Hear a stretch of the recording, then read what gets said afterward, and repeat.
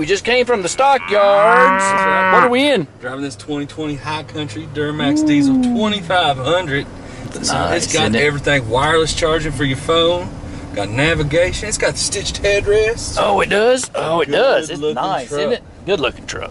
Four wheel drive, of course. It is I mean- sweet, sweet, sweet. And It's got the sunroof. sunroof. Hey, I see the sun. That's right. It's sweet. We don't see that very often. No, I know. It's It's got nice. the trim on it where it's got the where it's Oh yeah, is that the copper, bronze? yeah, what is bronze. it? Bronze, yeah. I love the woodwork right here, JJ. Oh, yeah, that wood is gorgeous. The Wood is gorgeous. No, it's a very nice truck. It's got the uh, the gooseneck. Uh, that's what you said. Yep, I was telling yep. you about. Nice. It's all ready to go. I mean, got the bed liner in it, spraying bed liner. You don't get much better than that. It's, It's- even got outlets. It's ready to go, You know what that's for, Randy? I'm gonna save my curling iron. That or some, you can make some toast.